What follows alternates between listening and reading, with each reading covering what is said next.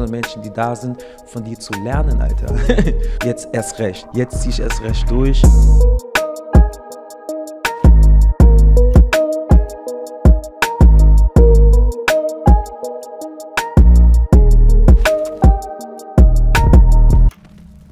Wie bist du persönlich zum Tanzen gekommen? Ich habe zum Glück in meiner Generation die Jugendzentrumzeit erlebt. Dort habe ich das Tanzen kennengelernt. Da habe ich auch nicht nur Tanzen kennengelernt, da habe ich auch Rap kennengelernt. Da habe ich mit den Leuten einfach Basketball gespielt, Fußball mhm. gespielt, das Leben genossen. Früher gab es ja immer an den Jugendzentren so kleine Diskotheken, mhm, so. Also freitags. Genau, genau, freitags Uhr. oder samstags so. Ja. Und da waren auch die ersten Battles. Ah, okay, nice. Genau, und so habe ich meine erste Erfahrung gesammelt im Jugendzentrum. Das war okay. das beste Leben. Nicht TikTok, nicht Instagram. Einfach live, live. Real life shit, genau. Nice. Äh, wenn du Jugendzentrum sprichst, ich kenne das ja auch selber aus meiner Jugend, äh, natürlich auch immer viel Musik verbunden, vor allen Dingen auch Hip-Hop-Musik eigentlich immer gespielt.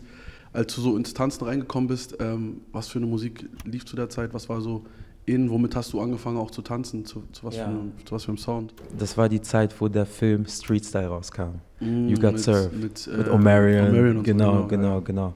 Da war der Hype da so. Deswegen war ich auch immer schon mit Rapmusik in Kontakt, so auch vor der Zeit. Mein größtes Idol war 50 Cent. Ja, okay. genau, also. durch ihn so bin ich in Rapmusik reingekommen. Mein Vater selber ist auch DJ, so deswegen Musik lief eigentlich 24-7 bei mir zu Hause.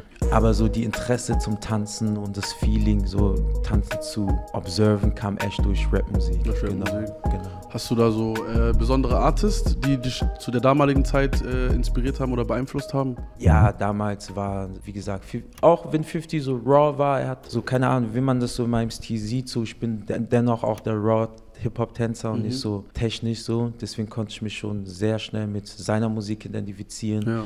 Ludacris war der Shit damals, Buster Rhymes, so äh, selbst Nelly, auf Nelly-Songs habe ich auch damals getanzt. Eigentlich 2000er Zeit war, konntest du auf alles tanzen. Missy Elliott, Timberland, das waren die besten Beats und die besten Sounds. Hast du so ein Highlight, eine Geschichte, mhm. ein persönliches Erlebnis, was, was so sehr, sehr einprägend für dich war?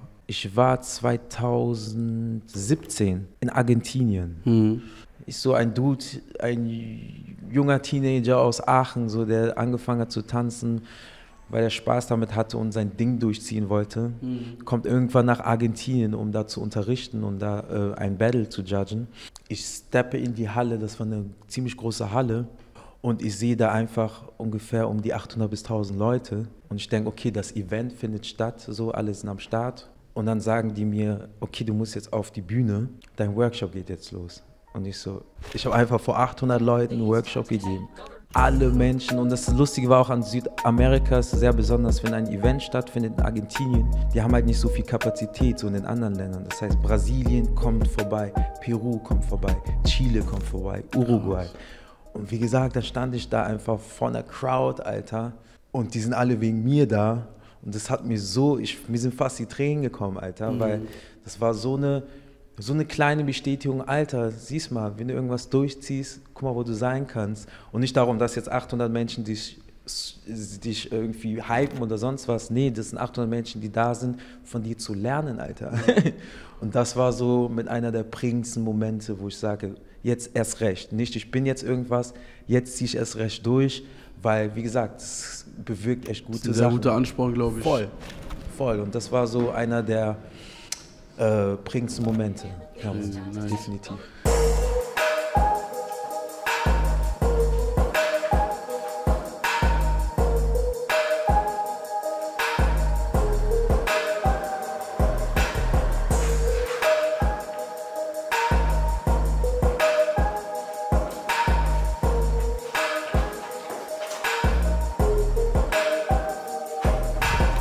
Ist das so mit äh, der Influence? Weil wenn man jetzt zum Beispiel Musik guckt, UK, würde ich sagen, in Europa mhm. ist wahrscheinlich auf Platz 1, was so die Aufmerksamkeit angeht, was Voll. die Musik angeht. Wie ist es beim Tanzen? Wer sind so da die stärksten in Europa? Hip-Hop meiner Meinung nach ist Deutschland Nummer 1. Ja? Ja. Okay, nice. Deutschland ist Nummer eins, finde ich. Gibt es krasse Leute, Majid, gibt es Bataja, gibt es UK. So, wir, ich rede nicht von mir, aber wir haben echt viel schon gerockt so und haben auch, sind ins Ausland gefahren und haben die in deren Städten schon auseinandergenommen. So, und haben Deutschland represent. Es ging nicht darum, Ja, wir wollen die Krassen sein, wir wollen Deutschland auf die Map tun und das haben wir definitiv getan.